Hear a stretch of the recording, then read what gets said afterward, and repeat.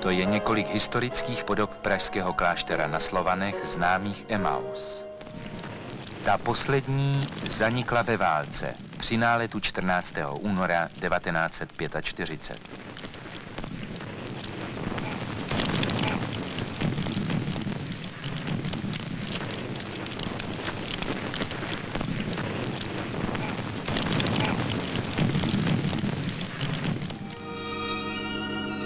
Změnilo se i poslání Emaus.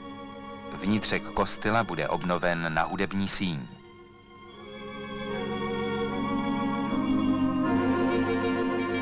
Jakou vnější architektonickou podobu však dát historické stavbě?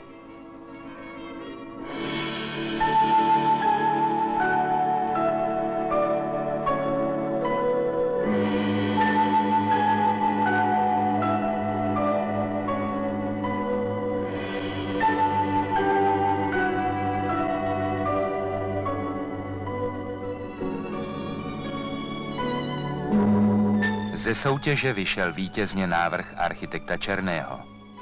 Vznikl z předpokladu, že každá z historických podob průčelí a věží by byla pro současnost vlastně jen libovolně zvolena.